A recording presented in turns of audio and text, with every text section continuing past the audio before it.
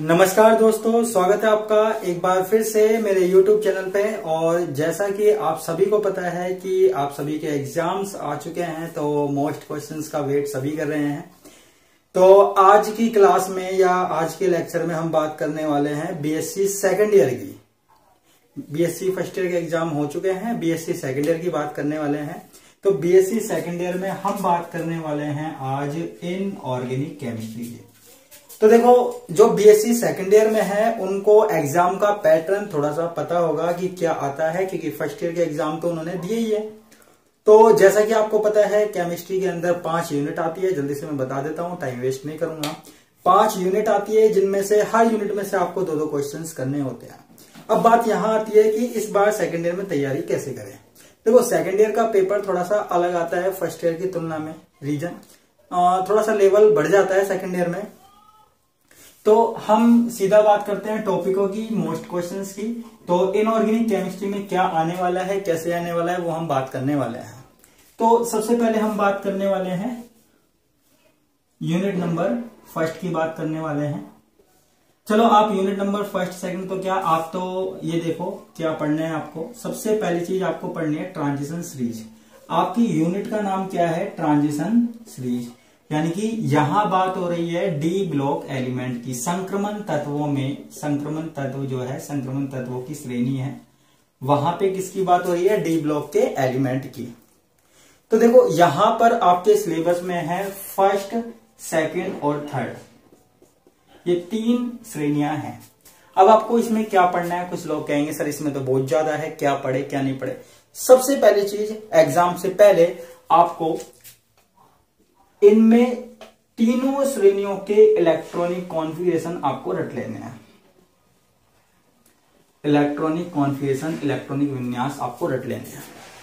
चाहे वो first series के हों, फिर सेकंड के हों, चाहे थर्ड के हों, ये आप सबको रट लेना है।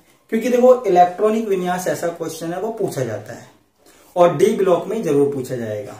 आपको हो सकता है इलेक्ट्रॉनिक विन्यास पे पूरा शॉर्ट नोट दे दिया जाए, या फिर ये हो सकता है कि कोई सा भी एलिमेंट उठाकर आपको पूछ लिया जाए कि इस तत्व का, इस एलिमेंट का इलेक्ट्रॉनिक विन्यास बताइए। जैसे सपोज़ कीजिए आपसे पूछ लिया गोल्ड का इलेक्ट्रॉनिक विन्यास बताइए। पूछ सकता है, या फिर सिल्वर का बताइए, या प्लेटिनम का बताइए। किसी का भी इलेक्ट्रॉनिक कॉन्फ्यूशन आपसे पूछ सकता है। तो सबसे पहली चीज़ आपको इलेक्ट्रॉनिक कॉन्फिगेशन तो याद रखना है, इसमें से ज़रूर ज़रूर ज़रूर क्वेश्चन आते ठीक है? उसके बाद आपको जनरल से चीज़ डी ब्लॉक की जो प्रॉपर्टीज़ होती है, वो याद करनी है। डी ब्लॉक की प्रॉपर्टीज़ मतलब आपको सारी प्रॉपर्टीज़ वैसे तो देखो पूरी यूनिट के अंदर प्रॉपर्टीज़ प्रॉपर्टीज़ है, और कुछ नहीं है। लेकिन फिर भी आपको हल्का हल्का सा पढ़ना है थोड़ा सा कि डी ब्लॉक में आयन ऊर्जा कैसी होती है, त्रिज्या कैसे होती है ठीक है, घनत्व कैसे होता है? थोड़ा थोड़ा सा पढ़ना है। क्योंकि एग्ज़ाम में पेपर ज़्यादा बड़ा नहीं आएगा शॉर्ट पेपर आएगा तो आपको छोटी छोटी सी चीज़ें पढ़नी है। और इसके अलावा डी ब्लॉक के जो तत्वों के गुण होते हैं ना, अलग से भी, कि मतलब उनकी प्रकृति कैसी होती है, कि इसमें इलेक्ट्रॉन त्यागने की प्रवृत्ति होती है, इस तरीके से तत्वों की। तो ये छोटी छोटी सी चीज़ें आपको पढ़नी है, लेकिन इलेक्ट्रॉनिक कॉन्फ्यूजन तो आपको ज़रूर पढ़ना है। ठीक है? इलेक्ट्रॉनिक कॉन्फिगेशन आपको ज़रूर पढ़ना है और डी ब्लॉक की तीन चार प्रॉपर्टी जैसे आयनिक त्रिज्या, आयन विभाग आयोनाइजेशन एनर्जी इनके बारे में आपको पढ़ना है। क्लियर है? और क्या पढ़ना है? और आप कुछ मत पढ़िए इसमें से। और कुछ मत पढ़िए, आपका काम हो जाएगा। ठीक है? आपको आराम से पूरा क्वेश्चन मिल जाएगा यहाँ पे। और एक आप छोटा सा ये क्वेश्चन जैसे शॉर्ट क्वेश्चन आते हैं, जैसे जिंक, कैडमियम, मरकरी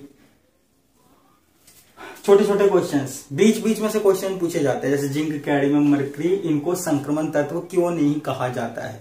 इनको ट्रांजिशन एलिमेंट क्यों नहीं कहा जाता है? इसका रीजन बताइए। तो ये रीजन आपसे पूछ सकता है कि इसका रीजन बताओ।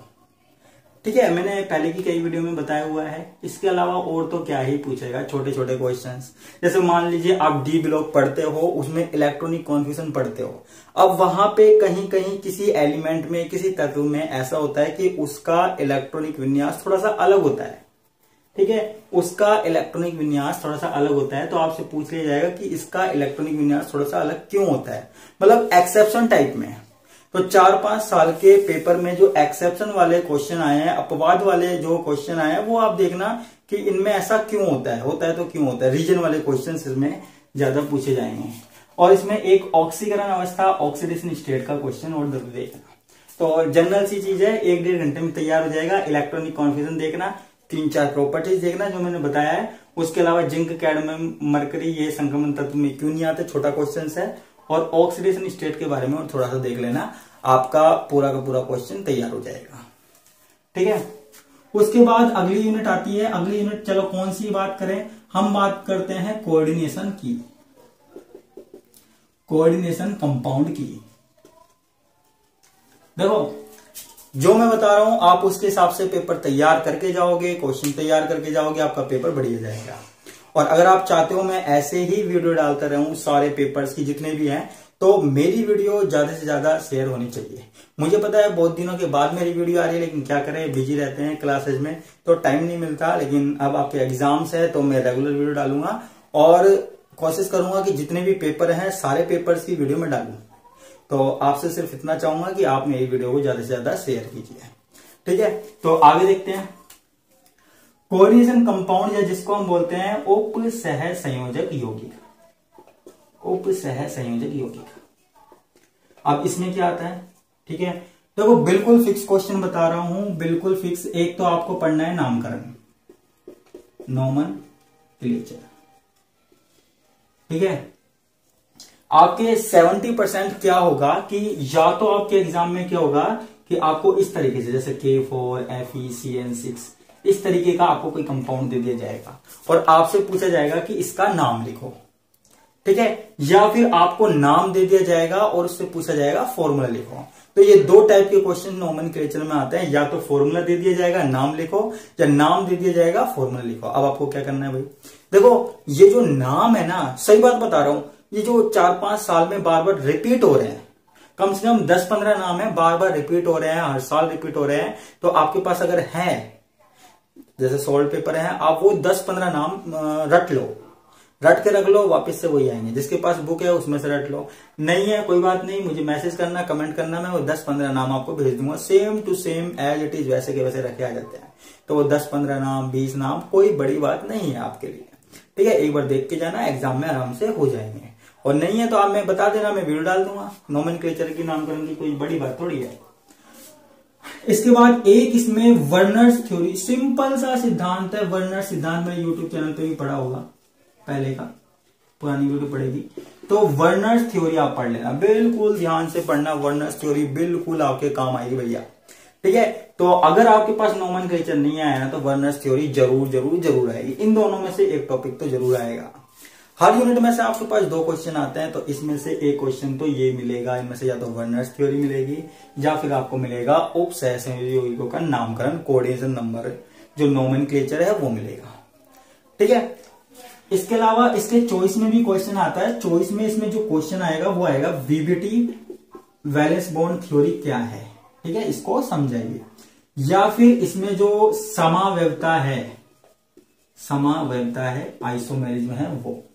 ठीक है? तो भैया देखो, वैसे तो छोटी सी यूनिट है, आप चाहो तो चारों टॉपिक कर सकते हो और नहीं करना चाहते तो या तो आप ये दोनों टॉपिक पढ़ लो या ये दोनों टॉपिक पढ़ लो। ठीक है? एक क्वेश्चन आपको इसमें से मिल जाएगा, नहीं तो आपको इसमें से मिल जाएगा। आइसोमेरिज्म और वीबीटी में से, ठीक है? थोड़ा सा अच्छे से पढ़ना, आपका दोनों क्वेश्चन तैयार हो सकते हैं। लेकिन जब आपको करना ही एक है तो आप एक काम करना, या तो इन दोनों टॉपिकों में से पढ़ लेना, या फिर इन दोनों टॉपिक में से पढ़ लेना, कोई दिक्कत नहीं है। ठीक है? तो ये आपके पास क्या हो गया? कोऑर्डिनेशन कंपाउंड हो गया। दो यूनिटों की बात हो गई। अब आगे चलते हैं। तीसरी यूनिट की बात करते हैं। अगली यूनिट कौन सी है?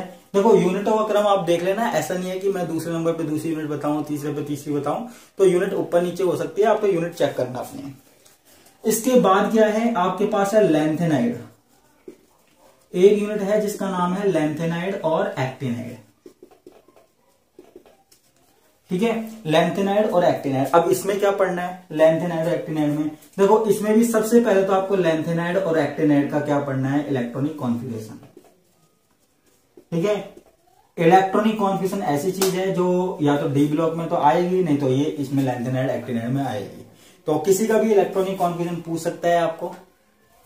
ठीक है? उसके अलावा यहाँ पे एक है लैक्टिनाइड एक्टिनाइड का जो है ना, वो सेपरेशन पृथककरण। सेपरेशन अब आप कहेंगे और टॉपिक बताओ, देखो और टॉपिक ऐसा कुछ नहीं है इलेक्ट्रॉनिक कॉन्फ्यूजन याद रखना। और इसमें यूरेनियम का पृथककरण, या यूरेनियम से नेपच्यूनियम प्लूटोनियम अमरेसियम का पृथककरण, वो आपको पढ़ना है, ठीक है एक्टिनाइड में। लैंथेनाइड में छोटे छोटे से टॉपिक है, जैसे ऑक्सीकरण अवस्था आयनिक ऊर्जा आयोनाइजेशन एनर्जी ठीक है, ये छोटे छोटे टॉपिक अगर आप करना चाहो तो कर लेना, नहीं तो आपको तो क्या करना है लेंथेनाइड एक्टिनाइड का इलेक्ट्रॉनिक कॉन्फ्यूजन और एक यूरेनियम से जो सेपरेशन का टॉपिक है ना, वो कर लेना आप दोनों। छोड़ो यार, और बाकी के सारे छोड़ो। ठीक है, मत करो मत करो। ठीक है, ये कर लेना, आपका काम हो जाएगा। ठीक है मतलब पेपर का काम हो जाएगा। ठीक है तो ये आपके पास कौन से यूनिट हो गए? लेंथेनाइड एक्टिनाइड की यूनिट हो गई उसके बाद एक यूनिट आपकी है ऑक्सीडेशन और रिडक्शन की। ऑक्सीडेशन रिडक्शन ठीक है? देखो ऑक्सीडेशन रिडक्शन में ज़्यादा नहीं है। आपको तीन टॉपिक बता रहा हूँ। एक तो लैटिमर एक पोरबैक्स ठीक है? और एक फ्रोस्ट ये तीन टॉपिक ऐसे हैं जो आपके पास एग्ज़ाम में हंड्रेड वन परसेंट आते हैं। इनमें से इनमें से आपके पास एक टॉपिक तो ज़रूर आएगा। हो सकता है दो भी आ जाए, लेकिन एक टॉपिक तो आपके पास इसमें से कंपलसरी आएगा। इन तीनों में से एक टॉपिक लैटिमर पोरबैक्स या फ्रोस्ट आएगा। वो तो आपकी बिल्कुल ही किस्मत खराब हो। ठीक है, जब हो सकता है कोई और टॉपिक पूछ ले जाए, लेकिन इन तीनों में से एक टॉपिक कब पूछा जाना तो बिल्कुल हंड्रेड परसेंट श्योर है। क्लियर है? तो आप इसमें तीन टॉपिक पढ़ लेना। अब आप कहोगे, ये तीन टॉपिक कहाँ से पढ़ना अब जैसे पोरबैक्स डायग्राम है यूट्यूब पे डालना पोरबैक्स डायग्राम डालना फ्रोस्ट डायग्राम आपको ऊपर से दूसरी या तीसरी वीडियो या पहली वीडियो हो सकता है, मेरी मिल जाएगी यूट्यूब चैनल पे। ठीक है तो ये डालना। तो आपके पास ये हो गया यूनिट नंबर फोर्थ का काम। इसके बाद एक लास्ट यूनिट है एसिड बेस अब एसिड और बेस में से आपको क्या करना है? एसिड और बेस में से आपको एक तो आरएनएस की थ्योरी तो आपको कैसे भी नहीं छोड़नी। आरएनएस थ्योरी पढ़नी है। ब्रोनस्टेड थ्योरी पढ़नी है।